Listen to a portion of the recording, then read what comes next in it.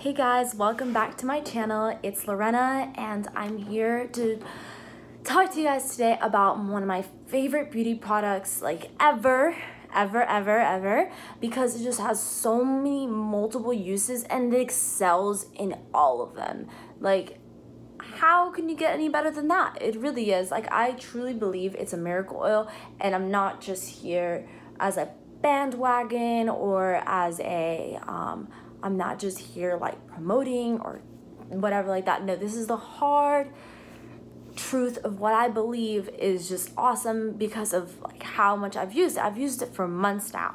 So I'm talking about it from experience and because I've tried multiple essential oils of like a bunch of essential oils, like just a lot.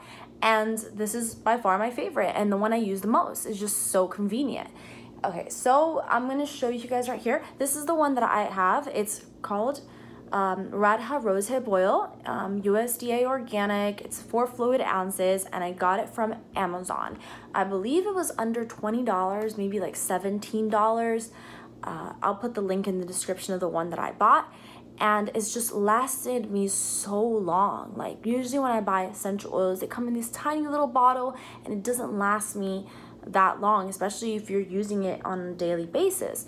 So, but this one, I'm using it as a daily basis and it's lasting me so long and it's just inexpensive. Like, can you get anything better than that? Like, can I get a thumbs up for that one? Come on, it's so awesome. And if you see, I still have a long way to go. I've only used up to here. So I have all this rest left to use and I've been using it for quite some time now.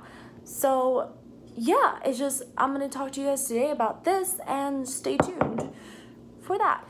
Okay, so rosehip oil. What is rosehip oil? Where does it come from? Okay, so it's comes from the rose flower, but it's not from the petals. That's the rose essential oil, but this rose hip seed oil, sometimes call it seed oil, comes from the fruit, like the seed and the fruit, seed fruit, left behind after the petals fall off the rose and it's cold pressed into this oil. And I believe where they grow or where they do this the most is in Chile. So that's where it comes from, South America. And it's full of vitamin A, C, E, and essential fatty acids. correct? Yeah. And it's good for a wide range of things and it has multiple uses. So what is it good for? It's good for anti-aging. It has um, the vitamin A that it has within it, helps with penetrating in deeper levels of your skin and the vitamin C helps um, stimulate collagen and skin rejuvenation and it protects you also from sun, sun damage, so UV radiation because of the vitamin C. It's not replacing sunscreen. I use this and sunscreen actually when I um, in my routine. So, but it does help protect against the sun at a certain level. And the antioxidant benefits that it also has within it helps fight free radicals. So that's why it's so anti-aging. So it helps with fine lines and wrinkles and it helps, you know, smooth out your skin with texture. So coming from that, it additionally, because it helps with fine lines and wrinkles, it also helps with scarring. So if you've had maybe um, acne marks or dark spots or scars, it can actually help improve the like the texture and the pigmentation of it.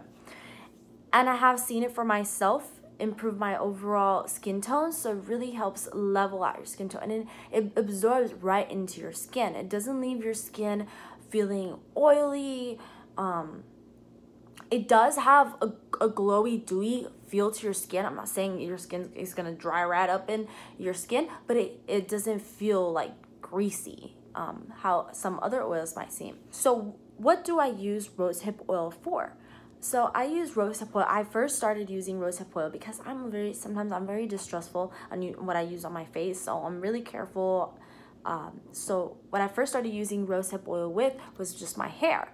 And then I moved to my lips and then I tried it a little bit on like certain spots on my face and then I finally decided to try it on as a moisturizer for my face and I fell in love with it and I started using it in the morning and the night. So I think I first started using only at night because in the morning, actually, I don't remember if I started using the morning first or at night first, but I just found that it worked either way better because at night the oil, um, it just helped me wake up feeling more dewy, um, and actually glowy and all the good stuff that you want to see because I think why it helps with that is because of the skin rejuvenation and all the vitamins that it has within it.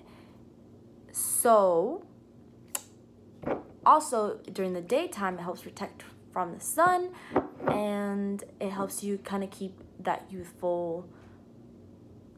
I woke up like this um, look.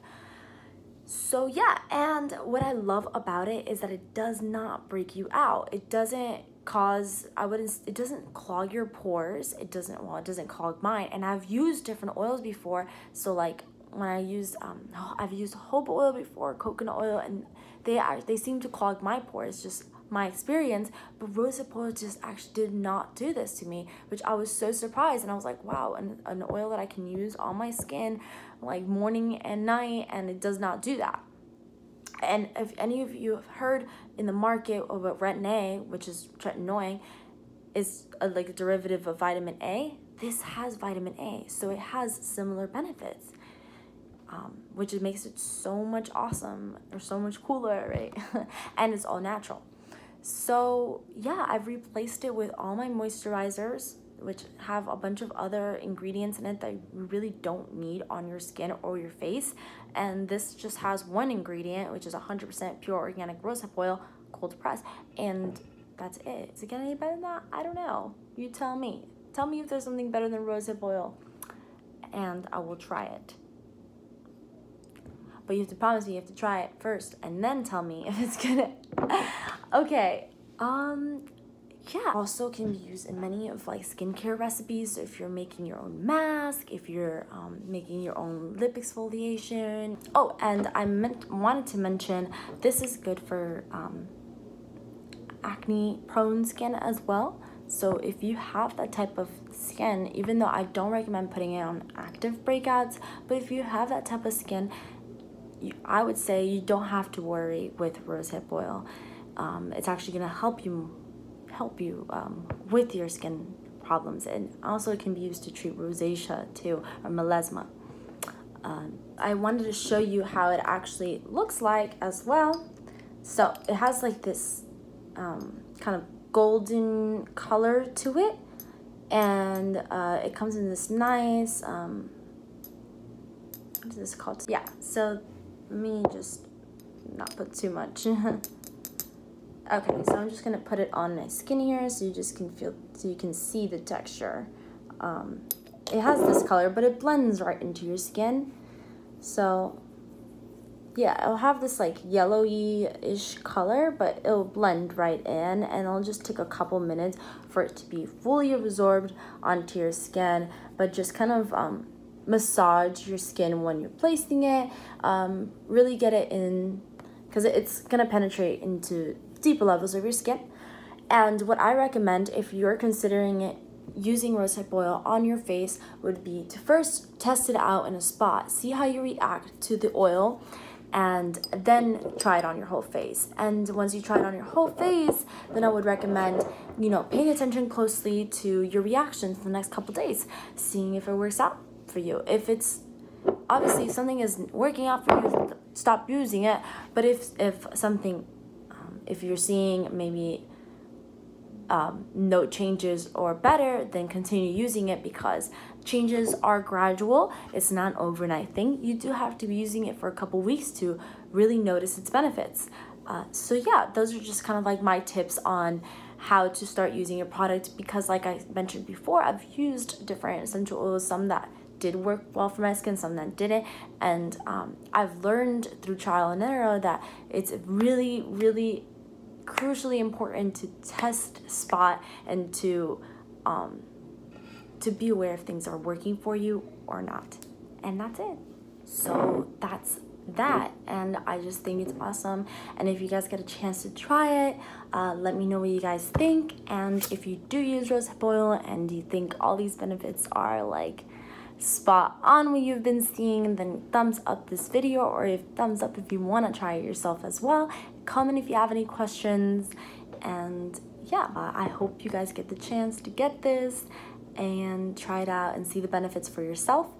And yeah, subscribe for more videos like this. And that's all I have for you guys today. Bye-bye.